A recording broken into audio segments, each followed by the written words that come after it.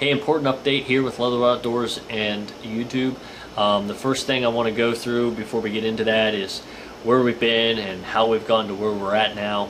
And then I'll discuss what's going on with uh, YouTube Leatherwood Outdoors. And then I'll talk a little bit about where I project uh, things going here in the next four to five years. Um, but first, you know, I just want to let you guys know Leatherwood Outdoors is basically just a group of us friends who, uh, who are all from the same area who just like to take our video cameras out and record whatever we see out in the woods and put it on YouTube. And that's how it's grown ever since. Uh, it, you know, it started when we were even using the VHS tapes, the little high eight tapes, the mini tape DVDs and uh, mini DVs, um, tapes of camera recorders. And it was crazy because YouTube really wasn't even a thing at that time. And the only way you'd be able to show a video was to take your camera to somebody's house, plug it into their TV, and show them what you videotape. Now, you can you can videotape something with your phone and send it to somebody. But I mean, with the technology now, with the digital age, that we can just put it in the computer, edit it, and send it in an email through YouTube, is so much easier. So that's sort of like why we created the YouTube channel, and we started upgrading into digital cameras so that we could uh, be able to share our experiences for, with friends and family. And it got to the point where we started growing enough where you know YouTube noticed us and said, "Hey, you guys want to make some money on your videos? We'll put some ads on your videos. Um, you guys are you know getting pretty popular." We said, "Sure, we'll do it." You know, and, and less than one percent ever applied for a YouTube partnership actually became a YouTube partner. Well, we got accepted in, in six months uh, out of our first application, and YouTube was still just on the rise at that time. And uh, what it, that allowed us to do was allowed us to create um, custom thumbnails for our videos, um, some little bit more contact with YouTube creators, and what it also did was allow us to monetize all of our videos, which that's where you get the little pop-up ads and the videos that play before the videos. Um, and those go to like an auction and the advertisers pay so much money for every, say, thousand views that that pops up. Maybe a uh, one company might say, well, I'll pay a penny every time a thousand views of that video, my ad shows up, I'll pay a penny for a thousand views. Or maybe, you know, they'll say, oh, 10, 10 cents a thousand views, or maybe five cents for every time somebody clicks on the ad, something like that. And so it really takes a lot of views to make any type of significant amount of money. And that's why we don't do this for a living. We do this on the side. It's sort of a hobby that has started to pay for itself and um, over the years. But regardless of the money, we would still be making videos. But the thing, the reason why I bring up the monetization is, is of what happened recently um, with YouTube and uh, the channels and the advertisements. Um, now, you guys have probably noticed over the past probably two years, you've seen less videos, and that is not because of any monetization issues. Um, that's just because life in general.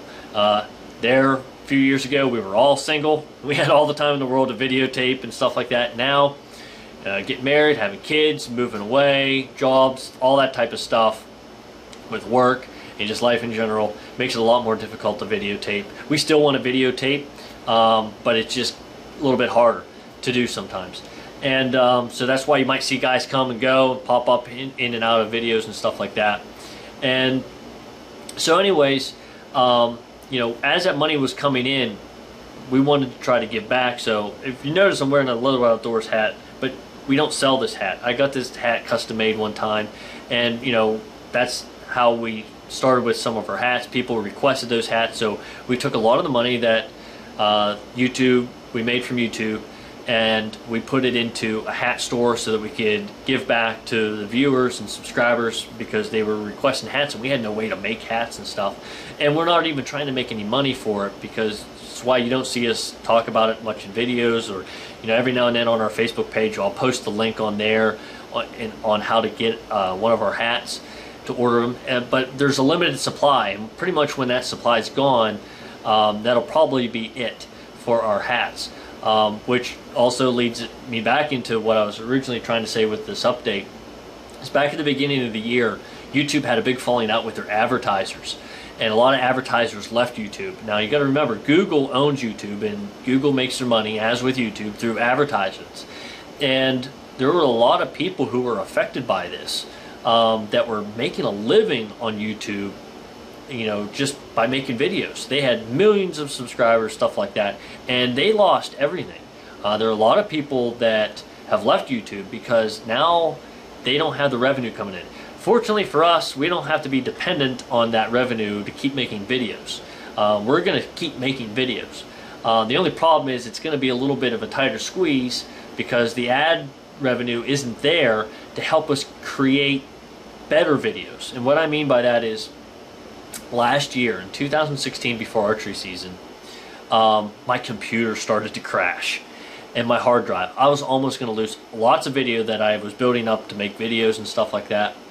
And at the same time on opening I actually it was on the opening day I had a video camera crash on me while I was videotaping a friend on the opening day. So I needed a new video camera and I knew 4k was coming in. So I used that money that I was saving that I was making from Leatherwood Outdoors because I knew at this at at some point in time this would happen I would need a new camera and a new computer and so that's sort of where this money, it sort of is just back there. It kind of pays for some tree stands here and there, but it's mainly to keep going back into YouTube um, for like cameras and computers and stuff like that. Uh, and or you know there's other guys they put it into like some of the guys bought uh, some GoPros for different camera angles it helps create better videos so we've been able to upgrade and we're able to use those uh, the technology um, and you know, if we didn't have that revenue, we'd probably be it would be harder for us to upgrade to that type of stuff. Um, and there's a lot of things that I'd like to get. Uh, you know, a lot of people use drones now uh, for videos, which I really think is cool uh, to use in videos. But the problem is, you know, the drones can be an expensive item. That's where some of the some of the stuff that we could use, um, we would have to be pulling out of our pockets. That's where uh, some of us, you know, money's tight. Uh, you know, with the economy the way things are now, it's not like we can just be throwing piles of money into to, into this. Um, you know, we will keep doing and making videos. So it, it basically limits our creativity and being able to create better quality in videos. I mean, even I had to upgrade the editing software in this on my computer in order so that I can get more clear videos and so that I could use um, better slow motion um, through the editing software that I was able to upgrade with the money and stuff. Um, other times I probably wouldn't have used that. But it's the money thing is just an indication of something that's a lot bigger. And here I'm about to show you. Okay, so here's our channel. And I want to go to, um, you can see the latest video. Here's rattlesnake video and our playlist as you go down. Um, but we're going to go into one of these videos. We're going to go into the editing part of the video. Here's where I put the, the tags and the description and stuff. Um, now we go to monetization here. Before we do that, we're going to go up to Video Manager, and this is going to show us all the videos. Okay, now one thing I want you guys to notice you can see these little green dots here with a money symbol. Um, that means that video is monetized. That means ads will pop up on that video. Anything that is yellow says limited or no ads. And and notice something really quickly that it's the deer hunting videos. Anything deer gun related, majority gun related, is limited with the ads. Okay, you can see like trout fishing, rattlesnake hunting, that's fine, but turkey hunting, no, no. The predator hunting, no. Oh, there's fishing, you're fine there. Fishing, fishing, we're fine. Um, but anything that had to deal with a gun or they're fishing, now we there's some videos that are on here, like this video here, that did not get um, kicked out through their automatic system.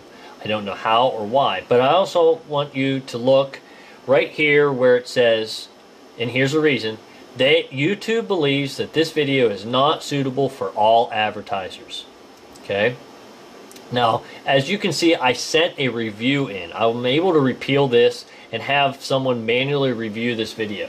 But if we go down here, I did this one other time uh, last week, and here it's been confirmed by a manual review that this video is not suitable for all advertisers. So basically what it means is, is this video, somebody watched this video and determined that this video was not suitable for all advertisers. Um, so here's, you know, we can keep going down through here. Now here's uh, the big buck that I shot with the 3040 Krag. It's been also not suitable for all advertisers. So let's just go into this video here real quick. We'll go into the monetization, and basically what it says is the status limited or no ads due to content identified as not suitable for all advertisers. Confirmed by manual review. That means somebody watched this and said, yeah, we don't want, you know, this isn't suitable for all advertisers, which you could also say is not suitable for all viewers either. Um, because that, that's just absolutely ridiculous to say that that is not suitable for all advertisers. Um, there's absolutely nothing wrong with hunting, and there's no reason to be apologizing for anything with hunting related. So, as we're going to go down here, you can see I haven't done all of them um, because what's going to happen, we can just take this video here, my wife's uh, uh, rifle doe from 2015. We're going to send in a requested view review. So here it says, um, what has happened, your video remains fully playable and is eligible to earn subscription revenue from YouTube Red, which is their TV service, which I'm not doing. Uh, why did this happen? Advertisers avoid placing ads on videos that don't align with their brand. For example, they may choose not to advertise on content that's sexually suggestive, includes bad language, or it is considered controversial. Okay, here's what we want to look at. Considered controversial. That means they bring any video that YouTube, not the advertisers, that YouTube deems is controversial is subject to this somewhat uh, that is subject to this censorship. So what can I do?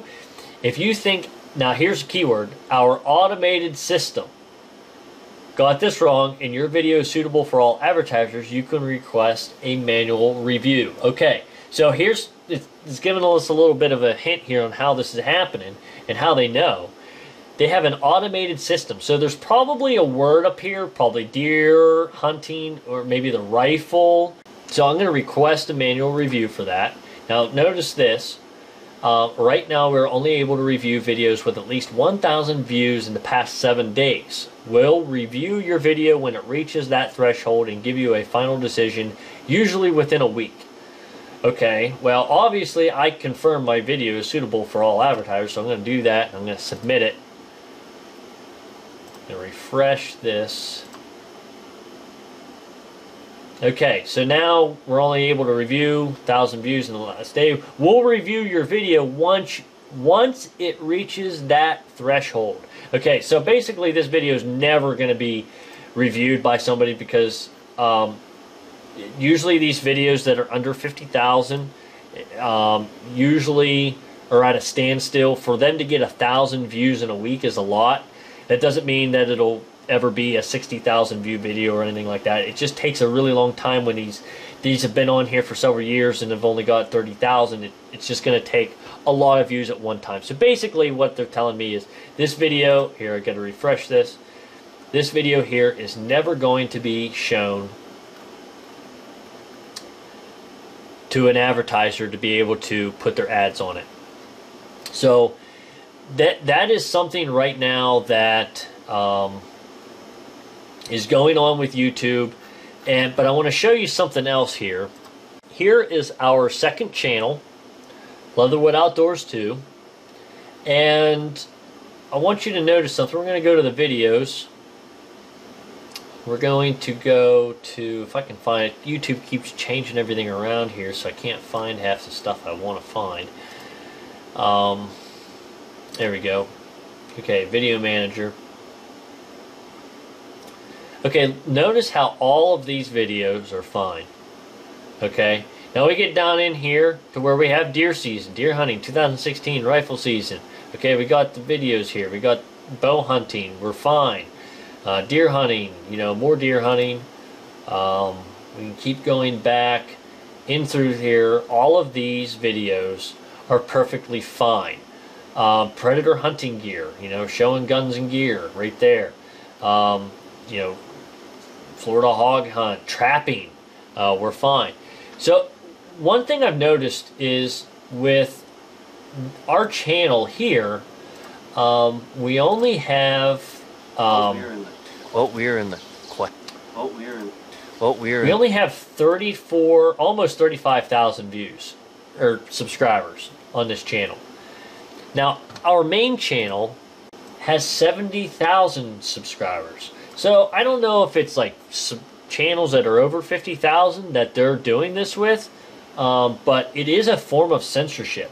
And you can go through YouTube and you can see guys that are shooting guns and stuff losing a lot of their revenue and a lot of their videos are being censored. So, so I'm in the process of making the video right now. It's on the editing table. Um, and I was going through and there's one thing I noticed that I forgot to touch on was uh, like the hat store. Um, the problem with demonetization of most of our videos um, creates a void now where there's no money set aside for things like adding to the hat store. So I was gonna like make hats like these, is gonna do hooded sweatshirts, you know, and try to expand something every so many years after we build up enough money because we have to buy that in bulk and we have to buy it up front uh, before we have any orders in. And we buy it in bulk because we want the product to be as cheap as possible um, for the people who are buying it. And we try not to buy cheap, junky clothing or hats. You know, we would want to buy premium items. So those themselves are already going to have a high price tag on them. So we want to keep the price as low as possible. That's why we're not really trying to make a profit. We're just trying to get get it out there. It's a you know a way to get our name out there also. But you know mainly because people want them and we want to give them a good price for it.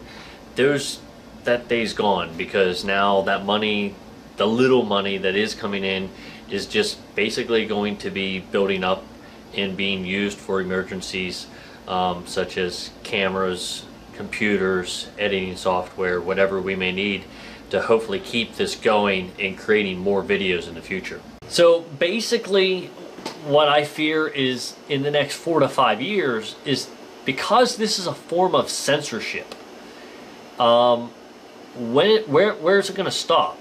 You know, I mean, they can't just kick everybody off. Obviously, YouTube is not hunting friendly. Okay, they don't like hunters. They don't like people who shoot guns. Okay, they they they have a political agenda. They do. They it it's you can see it there, and you can see lots of other channels and videos that um, are more on the conservative side of things uh, being censored, uh, videos taken away, and if you have an impact on somebody, they don't want they want to discourage you from they, they don't want to discourage you to leave um, but they want to discourage you from just stopping making videos um, or try to conform to their videos uh, because a lot of these people are making YouTube videos for the money. And um, we're not making YouTube videos for the money. It does make it easier but it, we're not doing it for the money. So they think a lot of these people are doing it for the money. Um, so what is probably going to happen is if this doesn't discourage a lot of people from like, let's say the hunting community to like stop making that many hunting videos and maybe making more fishing videos or something like that. Uh, they're probably, and this has already happened, you guys can look this up on YouTube, they will basically put your video in a jail. Um, what that means is is they don't want us in the hunting community to just abandon YouTube and go somewhere else where we'll pick up those advertisers. There is no such place now, but they don't want somebody making competition with YouTube because YouTube has an agenda. They want to censor what you watch and what you can see. And so they control the search engines. And that doesn't mean the video won't be there. They just know they know what you watch. If you guys Google something and then you get on YouTube and or you get on Facebook and you see the ads popping up of things that you just looked at like hunting stuff or whatever, They're trying to product. They know everything about you. They do. So they can limit these search results to pick and choose and direct you whatever way they want you to go. Now, that doesn't mean that it's impossible for you to find something, but it is kind of scary that they are censoring us. They are. And there's proof of it. I mean, it's not just, I'm not just making this stuff up. There's a reason why I'm saying this because literally, I think probably in, I, I, just feel like it's, it's happening so quick that it could be a possibility in five years that it would be hard to even upload a hunting video to YouTube because it would just be completely banned. It would be so looked down upon that you would just be uh, the height of evil for going out on the opening day of deer season with your family and trying to harvest some meat, uh, you know, for the freezer. So this is why I want to bring this to you guys' attention. Um, I think right now what they're probably going to do is they're going to just try to keep us hunting community together and keep us in like a little echo chamber where all us hunters kind of you know talk amongst ourselves but we're not really exposing non-hunters or anybody else that might be offended by it um, so they just kind of keep us at bay they don't want us going out there and competing and creating something that you know challenges the people that are faithful uh, to YouTube's agenda whatever that might be, but we do know that they are anti-hunting since they have people who manually review these videos. There are videos that are way worse morally, uh, I believe, not just a hunting from a hunting aspect of it that have been okayed by YouTube. Um, so there's individual people within YouTube that also have their own agendas and they're going to view that video however the way they want. We're going to keep making videos as much as we can. It's really hard. Um, you know, I, I just made this video last minute because I thought if I don't do it before right, uh, archery season gets here, I'm never going to make it. And so I just want to give you guys an update. I don't think anybody should get uh, scared that we're going to be gone, you know, after archery season or anything. Uh, but I just want you guys to understand, you know, what is going on in the backgrounds. Even though um, it might not affect you guys right now, but if there ever comes a time uh, where what I'm saying comes true, where it could actually be where they ban all types of hunting or gun-related videos or or uh, Christian video or whatever, um, it it you'll know at least it's been going on way way before uh, it actually happened. So this is just the start of it.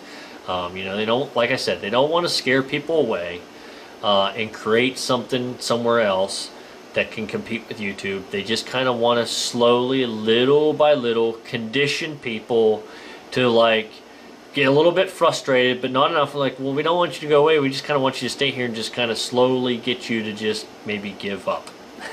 it's what it seems like to me. I mean, I don't know. So hopefully somebody creates something somewhere uh, a better place.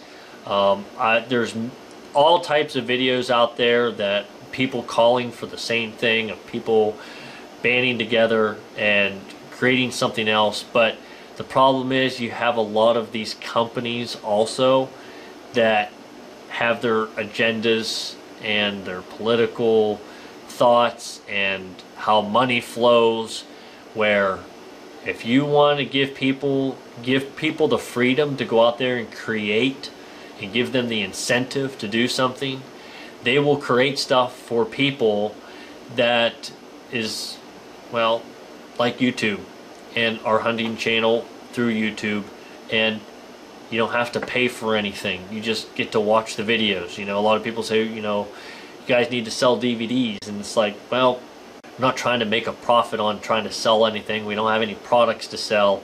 Um, we just want people to watch our videos. We don't want to put any type of restrictions on there. Um, but like I said, no worries, guys. We're not in any type of you know financial trouble um, or anything like that. It just I'm just letting you guys know that YouTube is just really making it hard on us. They're just really frustrating me every time I get on the computer, I see a video that got age restricted because a bunch of animal rights activists protested something. I have videos that I never even shot a deer in. I'm just I'm just sitting in the deer stand videotaping deer. But because I had a bow in my hand, didn't even shoot a deer. It's age restricted. You have to be 18 years or older to even watch that video. It's absurd to even think that you can click on the side related channel, watch me cut the head off a rattlesnake and gut it and skin it, which I think everyone should uh, watch because, you know, uh, there's nothing wrong with that. I'm teaching, I think, survival skills, learning how to butcher, uh, process a deer, gut a deer, flesh raccoon, all that type of stuff. You know, those are things that a lot of us, we grew up when we were kids, you know, that fathers taught their children as soon as they could walk and talk. They were around this stuff. And there's no reason for it to be unsuitable for other people. Um, so there, there, I kind of turned it into a little bit of a rant video. I tried not to because it just, I get so frustrated with the way YouTube is treating us and stuff. But I just kind of want to share that with you guys. Um, I don't really make videos like this because I end up rambling on. But anyways, hopefully everyone has a good and safe archery season uh, this year, and um, God bless.